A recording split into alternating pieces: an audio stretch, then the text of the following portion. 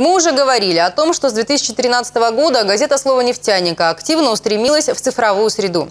Кроме печатной, подписчикам стала доступна бесплатная PDF-версия издания, которая приходит на личный или корпоративный e-mail всем желающим. Напомню, оформить подписку можно на сайте ноябрьск.рф.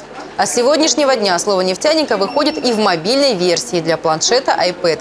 Пока это первое и единственное на Ямале печатное издание, выпускаемое для планшетов – Мобильная версия газеты отличается от печатного выпуска тем, что подкреплена видеоматериалами, фотогалереями, ссылками на интернет-ресурсы и архивы издания.